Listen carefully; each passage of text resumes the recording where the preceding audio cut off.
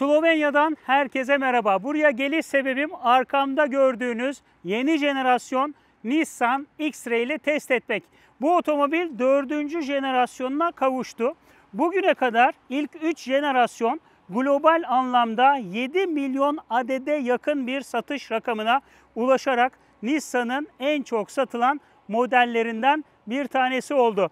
İlk kez Nissan X-Trail 2001 yılında T30 kasa koduyla yollara çıkmıştı. Daha sonra 2007'de T31, 2014'te T32 yollara çıktı ve T32 2017 yılında makyajlanmıştı. Şimdi 2022 yılının sonlarına doğru T33 kodlu dördüncü jenerasyonla beraberiz. Bu arada 4 jenerasyon bir arada şöyle göstermek istiyorum sizlere. Birinci jenerasyon X-Trail. İkincisi birden ikiye geçişte köşeli tasarım korunmuştu bildiğiniz üzere. Üçüncü jenerasyon yepyeni bir tasarımdı ve bu testin konuğu olan dördüncü jenerasyon. Hemen boyut karşılaştırması yapmak istiyorum. Dördüncü jenerasyonla yanda gördüğünüz beyaz üçüncü jenerasyon arasında. Otomobilin uzunluğu 10 mm kısalmış durumda. Yükseklik 15 mm artmış. Genişlik de 20 mm artmış. Dingil mesafesi ise bildiğim kadarıyla aynı kaldı. Evet.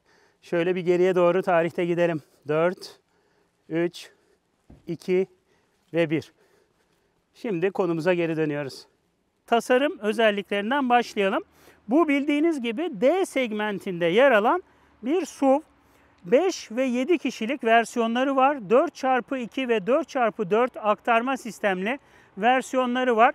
Bu benim kullandığım test aracı hem 4x4 hem de 7 kişilik tüm ayrıntılarını zaten sizlerle paylaşacağım. Otomobil Renault Nissan Mitsubishi Alliance'ın CMF-C platformunda geliştirildi ve benzinli yanı sıra elektrikli motorlara da sahip e-Power olarak adlandırıyor Nissan. Bu teknolojiyi tüm detaylarını zaten sürüş sırasında sizlere aktaracağım. Ayrıca burada da e-Power var. Burada da bakın çok değişik yazıyorlar. E-Force olarak yazılıyor ama Force'un F'sini 4 olarak yazıyorlar. Bu da 4x4 olduğu anlamına geliyor. Madem arkasındayız aracın arka tasarımdan başlayalım. Artık X-Trail yazısı burada. Büyük yeni Nissan logosuna yer verilmiş durumda. E-Force ve E-Power logolarını zaten gösterdim. Ben tabii ki sürüş sırasında kapatacağım ama sis farını da yaktım. Sadece solda, şurada da olsaydı iyi olurdu. Orada geri vites ışığı var. Sinyal de verdim. Şu şekilde ışık imzasına sahip ve yanlara kadar da dönen, bakın böyle yandan da görebiliyorsunuz. Stop lambaları var otomobilde. 1.5 litrelik bir benzinli motor da var. 55 litrelik bir depo hacmi sunuyor. Bayağı büyük sayılır. Bagaj elektrikli sisteme sahip. Hemen inceleyelim. Şuna basınca anahtardaki bir düğmeye ya da konsoldaki bir düğmeye basınca da açılıyor. Ayrıca ayakla açmak da mümkün. Eskisinden 25 litre daha büyük bir bagaj hacmi sunuyor. 575 litre. Ayrıca arka koltuklar öne katlandığında bu hacim 1396 litreye kadar çıkıyor. İsterseniz bagaj içini bir inceleyelim. Bu 7 kişilik versiyon. Bir bakarız. Buradan koltuklar da çıkıyor. O yüzden burada bardaklıklar ve tabii ki emniyet kemerleri de var. Burada 12 voltluk girişe yer verilmiş durumda. Burada da bir aydınlatma yer alıyor. Yine burada bardaklıklar ve emniyet kemeri var. Burada ayrılmış bir bölme, burada da ayrılmış bir bölme var. Benim valizimi şu şekilde aldıktan sonra isterseniz şuraya bakalım. Burada lastik tamir kiti yer alıyor. Şu koltukları da birazdan inceleriz. Bagaj kapağı şuradaki düğmeye basarak kolaylıkla kapatılabiliyor. Otomobile yandan bakalım. E-Power logosu burada da var. Jantlar bayağı büyük Michelin lastikler takılı ve boyutları 255 45 R20 20 inçlik bence güzel tasarımlı jantlara yer verilmiş durumda.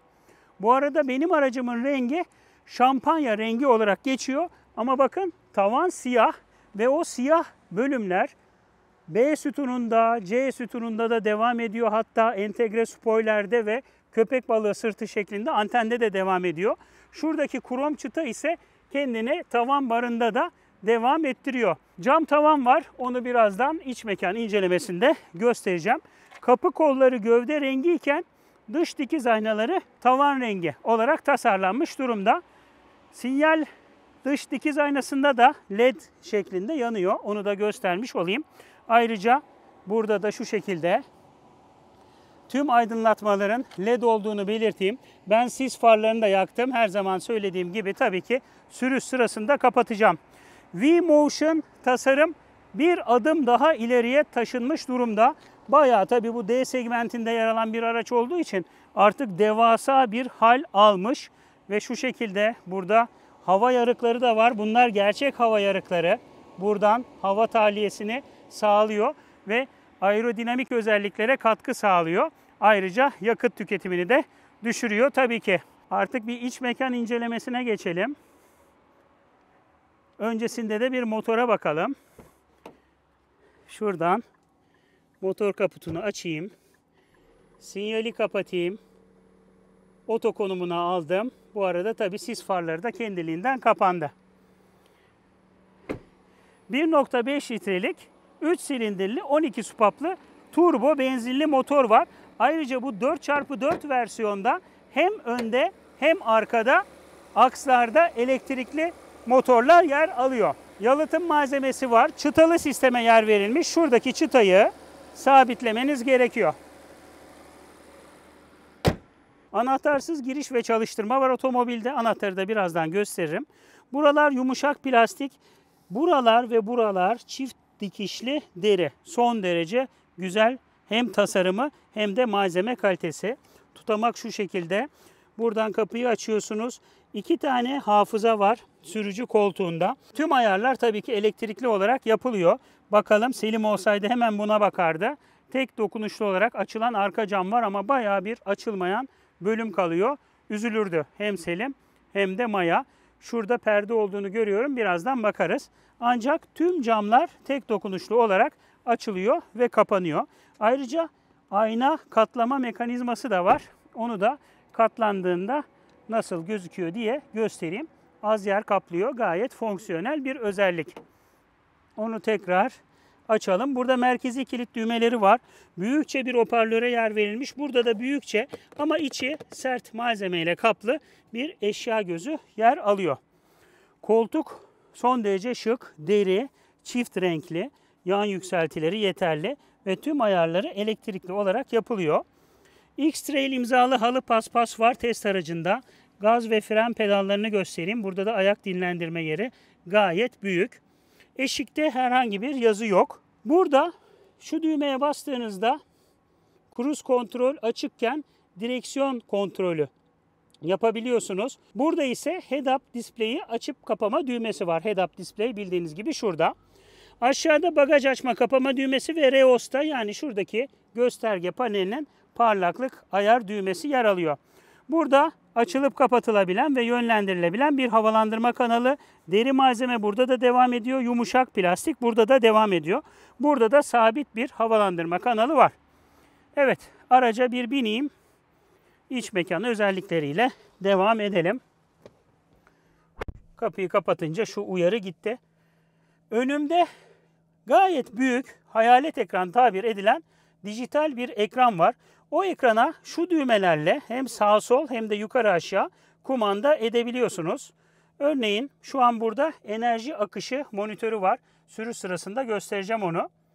Daha sonra isterseniz dahili navigasyona, Bluetooth ses sistemine, elektronik sürüş destek sistemlerine, ayarlara, yine Bluetooth ses sistemine erişebiliyorsunuz. Bu da yol bilgisayarı. Gayet güzel çalışan bir ekran. Ayrıca yukarı aşağıda gidebiliyorsunuz. Mesela lastik basınçlarını gösteriyor. Enerji akışı ekranında. Sol tarafta pillerin o anki kullanımını yüzdesel olarak gösteriyor. Şu an ready diyor. Sadece piller çalışıyor. Araç kullanıma hazır. D'ye alıp basarsak gidebiliriz. Ayrıca burada da şarj bölümü var. Bu otomobilin çok farklı özelliklerinden biri sürüş sırasında daha fazla bahsedeceğim ama benzinli motor hiçbir zaman tekerlekleri tahrik etmiyor. pilleri dolduruyor. Bir jeneratör görevi görüyor adeta. Sadece ve sadece piller yani elektrikli motorlar aracın tekerleklerini tahrik ediyor. Bunun da herhangi bir gaz tepkisi gecikmesine yol açmadığı tam tersine anında gaz tepkisi alınmasına yaradığı ifade ediliyor. Onu sürüş sırasında göreceğiz. Direksiyon simidi de yeni. Yeni Nissan X-Trail'de. Ortasında da yeni logo var. Buradaki düğmeleri açıklamıştım. Ayrıca ses açma, kapama ve kanal arama düğmeleri de var. Kanallar arasında değişiklik yapabilirsiniz. Burada ise elektronik sürüş destek sistemlerinin ayrıca Bluetooth telefon kumandasının yer aldığı bir birim yer alıyor. Farlarda ve sileceklerde oto konumları yer aldığını belirteyim. Buradaki büyük, devasa diyebileceğim ekrana gelecek olursak bu da dahili navigasyona sahip. Ana sayfaya gidelim. Burada bakalım sağa sola kayıyor mu? Evet kayıyor. Gayet de güzel. Tepki hızı yerli yerinde. Navigasyon demin açıktı. Ses sistemine gidebilirsiniz. Telefon bağlayabilirsiniz tabii ki. Şu da çeşitli ayarlara ev sahipliği yapıyor. Ana sayfaya hatta navigasyona gidelim. Bu arada geri vitesi alınca tabii ki orada geri vites kamerası çıkıyor. Şu şekilde. Bavulumu gördük. Sensör ötüyor bavul olduğu için. Kılavuz çizgisi dönüyor. Renkli büyük bir ekran var. Burada da 360 derece kameraya ev sahipliği yapıyor. Ayrıca otomatik park özelliği de var. Tekrar P'yi alalım. Şanzımanda N, D ve B konumları da var. B bildiğiniz gibi elektrikli otomobillerden de tanıdığımız elektrikli ve hibrit otomobillerden brake yani İngilizce fren kelimesinin ilk harfi. Örneğin bir yokuş aşağı inerken şanzımanı B konumuna aldığınızda motor freni yapıyor ve piller ekstra doluyor. Tekrar buraya gelecek olursak motor buradan çalıştırılıp kapatılıyor. Anahtarı göstereyim. Anahtar şu şekilde. Büyük, güzel, şık bir anahtar var. Merkezi kilit düğmelerine ve bagaj açma, kapama düğmesine sahip hafif bir anahtar. Burada iki adet bardaklık var. Bakın bizim için şöyle Nissan karton su koymuşlar. Gayet güzel bir fikir. Çevreci bir fikir. Pet şişeden daha iyi bence. Şu an telefonum burada kablosuz olarak şarj oluyor. Ayrıca burada bir adet tip C, bir adet tip A olmak üzere iki tane farklı tip güzel düşünülmüş. Herkesin telefonu çünkü tip C ya da tip A değil. Farklı sistemler olması güzel. USB girişleri var. Burada da bir tane 12 voltluk girişe yer verilmiş durumda. Şu P'deyken park freni de çekili, auto hold özelliği de yer alıyor. Burada sürüş modları var. Bunları değiştirelim bakalım. Şurada dry mod, offroad'a aldık. Snow, standart, eco ve sport var genelde standartta durması gerekiyor ama bu sürüş boyunca offroad parkuru da varmış. Orada da çekim yapma imkanım olursa tabii ki yaparım. Offroad'a girince de tabii ki oradaki offroad konumuna alırız. Burada şöyle sağa sola açılan üstü deri kaplı bir kol dayama var. İçi son derece büyük. Buraya ciklet koymuşlar bizim için. Aydınlatmalı ve içinde de şöyle bir keçe var. Yumuşak malzeme var diyebiliriz. Ancak herhangi bir USB girişi yok. Torpidoya bakacak olursak şuradan açılıyor. Yavaş açılıyor. İçi aydınlatmalı ve son derece geniş büyük bir torpido. Burada ahşap görünümlü diyeceğim bir malzeme var. Kalite algısını arttırıyor. Burada da bir krom çıta var. Burası da deri kaplı. Yine burası yumuşak plastik. Önemli et kemerleri yükseklik ayarlı. Burada bir tutamağa yer verilmiş. Siperlikte hem kart koyma yeri hem de aydınlatma yer alıyor. Aynı siperlikten ve tutamaktan burada da var. Burada Selim'in gözlüklük dediği ve ben gözlüğümü koydum bir yer var. Son derece kullanışlı. Burada aydınlatmalar ve SOS birimi var. Perdesi elektrikli olarak açılıyor. Büyük panoramik bir cam tavan var. Biraz daha açalım perdeyi. Ve ayrıca camı da şu şekilde bakalım nereye kadar açılıyormuş. Muhtemelen şu kafalığın üstüne kadar açılacak. Evet. Böyle ferahlık ve aydınlık sağlayan ayrıca havalandırma da sağlayan bir panoramik açılır cam tavana yer verilmiş durumda. Gayet fonksiyonel, tek dokunuşlu olarak, elektrikli olarak açılıyor ve kapanıyor. Burayı gösterecek olursak iki tane açılıp kapatılabilen ve yönlendirilebilen havalandırma kanalı var. Ortalarında benim sevdiğim tip dörtlü flaşör düğmesine yer verilmiş. Çift bölgeli mi arkaya bakınca belki 3 bölgelidir. Klima yer alıyor burada. Ön camda ısıtma var. Ön cam rezistansı, arka cam rezistansı, iç sirkülasyon düğmesi. Buradan sıcaklık ayarı yapıyorsunuz. Evet rear da varmış. Demek ki 3 bölgeli. Onu da görmüş olduk. Ayrıca koltuk ısıtması. Şurada soğutma var mı? Yok. Direksiyon ısıtması var. Burada da sıcaklık ayarı yapılabiliyor. Fan ayarı ve nereye üflemesi gerektiğini seçebiliyorsunuz. Senkronizasyonu kapatırsanız buraya ayrı, buraya ayrı sıcaklık ayarı yapabilirsiniz. Ben tek kişi şu an aracı kullandığım için senkronizasyonu açtım. Yine ön yolcu koltuğu içinde 3 kademeli ısıtma yer alıyor. Evet, ön koltuktan aktaracaklarım bunlar derken bunu gördüm. İç dikiz aynası kendinden kararma özelliğine sahip. Şimdi isterseniz arka koltukları inceleyelim diyeceğim. Çünkü ikinci ve üçüncü sırada farklı farklı koltuklar yer alıyor. Önce ikinci koltuk sırasına bakalım. Son derece geniş açılan, neredeyse 90 derece açılan, bu sayede rahat iniş biniş sağlayan bir kapı var. Kapı içinde az önce bahsettiğim gibi bir perdeye yer verilmiş. Gayet fonksiyonel. Malzeme kalitesi buralar sertleşti ama burada deri malzeme devam ediyor. Hoparlör ve eşya gözü biraz küçüldü. Şöyle kafalıkları göstereyim. Ortadaki virgül şeklinde ama bunlar keşke virgül şeklinde olsaydı. Kullanılmadığı zaman bile orada yer kaplıyor. Şaft tüneli yükseltisi yok kadar az. Gayet güzel, keyifli. Burada bir cep, orada bir cep var. Burada bir tutamak ve askı, burada bir aydınlatma var. Sağ camda da perdeye yer verilmiş durumda. Isofix bağlantıları çok kolay yerde. Bakın hemen koltuğunuzu sabitleme mekanizması burada gözüküyor. Burada ayrı sıcaklık ayarı yapılabilen bir birim var. Ayrıca havalandırma kanalları da açılıp kapatılabiliyor ve yönlendirilebiliyor. Buradaki koltuklarda da ısıtma var. Hem soldaki hem sağdaki koltukta. Ayrıca yine bir tip C, bir tip A olmak üzere iki tane USB girişine yer verilmiş durumda. Koltuğa bir oturayım. Ön koltuk benim ayırma sahip. 1.78 boyundayım. Evet çok başarılı bir diz mesafesi var. Bir de baş mesafesine bakalım. 5 parmak girdi. Baş mesafesi de çok çok başarılı açıkçası. Önemli et kemerlerini buradan da göstereyim. Yükseklik ayarlı. Burada yine aydınlatma, askı ve tutamak yer alıyor. Gayet keyifli. Şimdi gelelim isterseniz 3. sıra koltuklara. Onları sizle beraber tecrübe etmek istiyorum.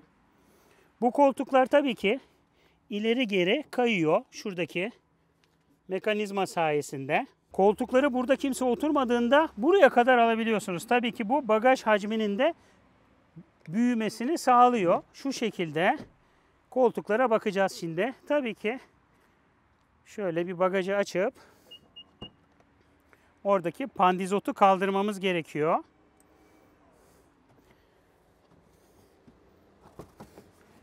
Pandizotu aldıktan sonra bunu da muhtemelen şuraya koyabiliyorsunuzdur. Onu daha denemedim. Şu şekilde. İsterseniz şu koltuğu bir kaldıralım. Burada 1.60 boyundaki insanların rahatlıkla yolculuk edebildiği söyleniyor. Şu şekilde tabii ki bagaj hacmi hayli azalıyor 7 kişilik kullanımda. Evet 7 kişilik kullanımda bu şekilde. Üçüncü sıra koltukta oturanlar için de tabii ki emniyet kemerleri olduğunu söylemiştim. Ayrıca burada bardaklık ya da eşya gözü olarak kullanılabilecek yerlerde yer alıyor. Evet. İsterseniz artık şimdi sürüşe geçebiliriz. 4x4 ve e-Power özellikli bir yeni jenerasyon Nissan X-Trail'in sürüşüne çıkıyorum.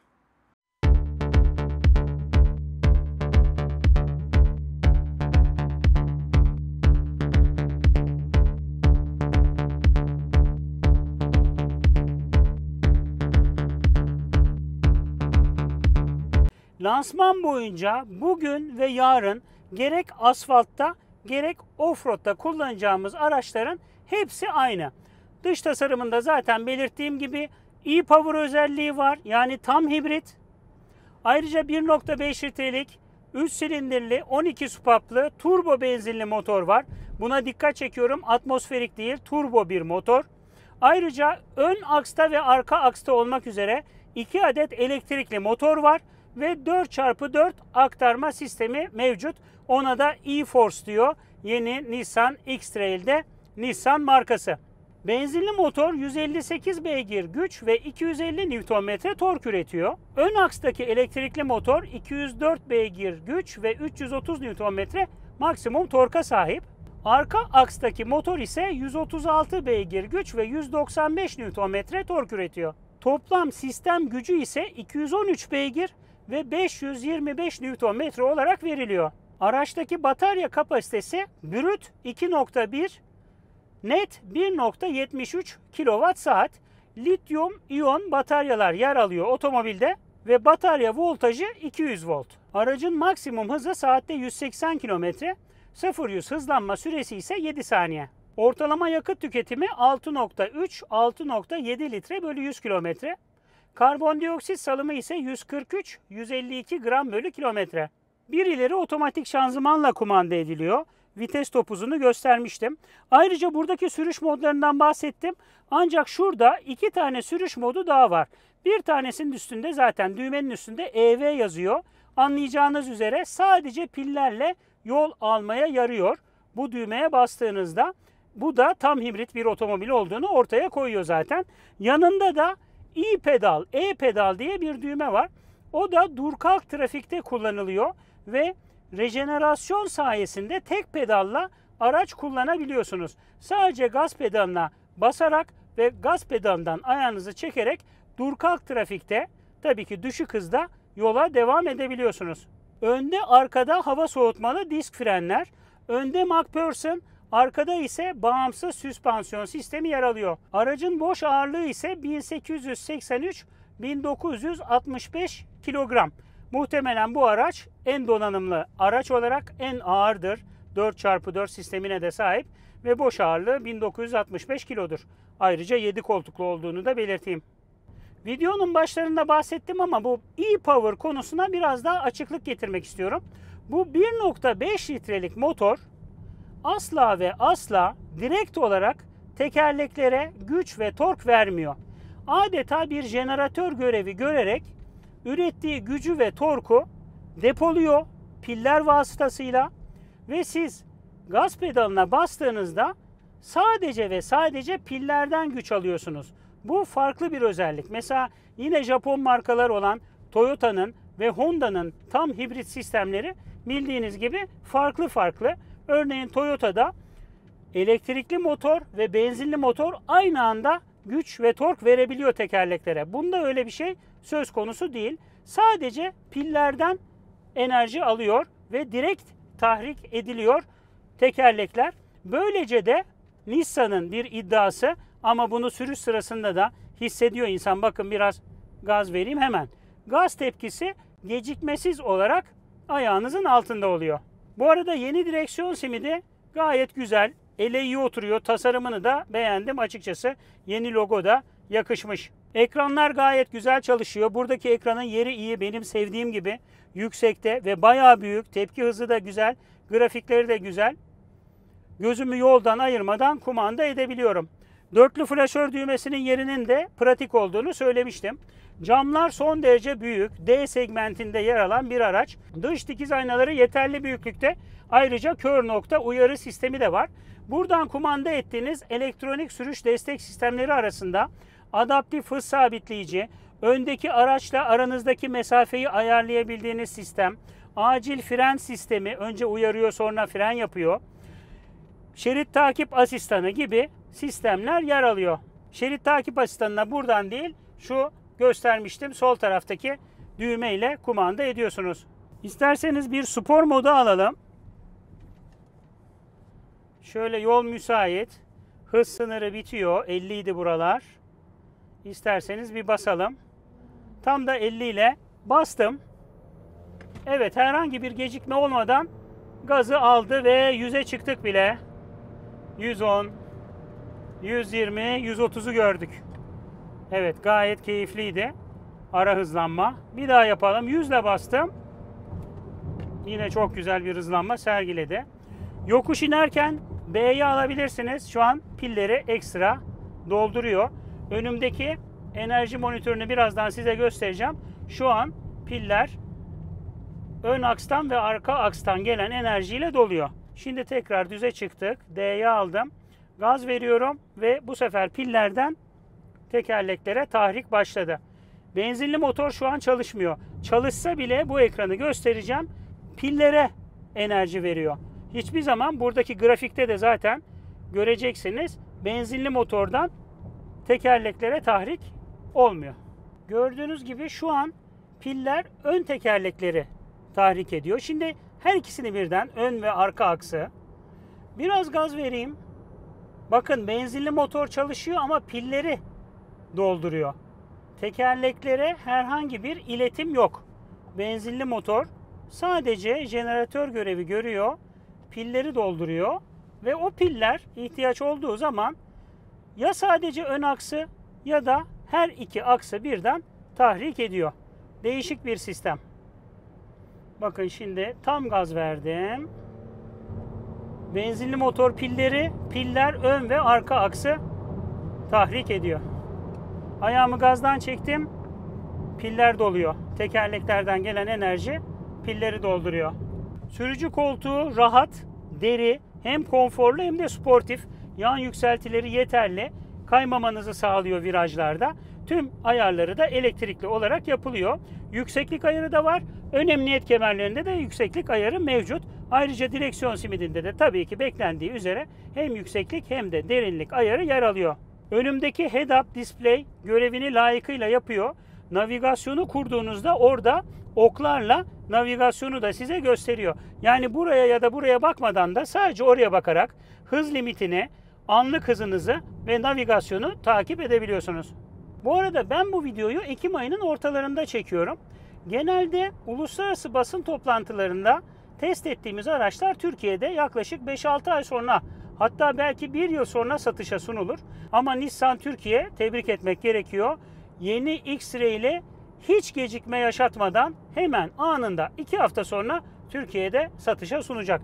Tabii ki şu an fiyatlar, donanımlar, seçenekler belli değil. Görüş açılarının genişliğini bir de bu açıdan göstermek istiyorum sizlere. Yüksek oturma konumu yola çok hakim bir sürüş gerçekleştirmenizi sağlıyor.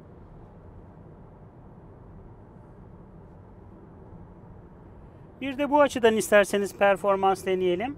Yine spora aldım. Şu an 60'a kadar düştüm ve bastım.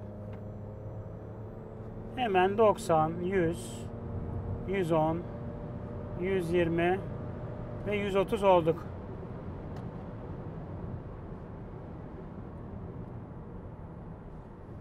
Gayet güzel, sorunsuz bir ivmelenme sağlıyor. Atak, istekli bir araç. Yeni Nissan X-Trail bu e-Power ve e-Force versiyonunda. Bu arada otomobilin yalıtımı da başarılı. Özellikle şu A sütunları bayağı takviyeli yapılmış anladığım kadarıyla. Otoyolda da kullandım. Şimdi böyle biraz mıcır döşeli kötü asfaltta da kullanıyorum. İç mekana rahatsız edici bir ses girmiyor büyük jantlara rağmen. Çekimlerin ikinci gününde offroad parkuruna geldim. Şimdi şu bana yaklaşan araca bineceğim. Kamerayı aracın dışına kuracağım ve şuradan başlayan offroad parkurunu gerçekleştireceğim.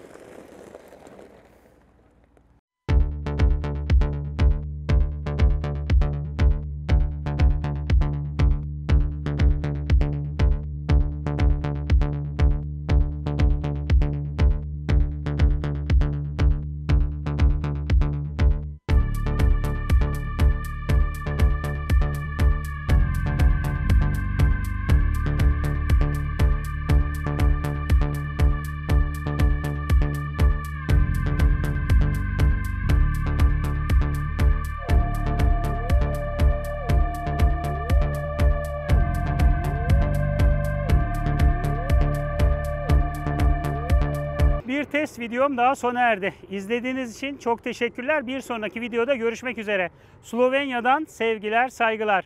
Kendinize çok iyi bakın. Hoşçakalın.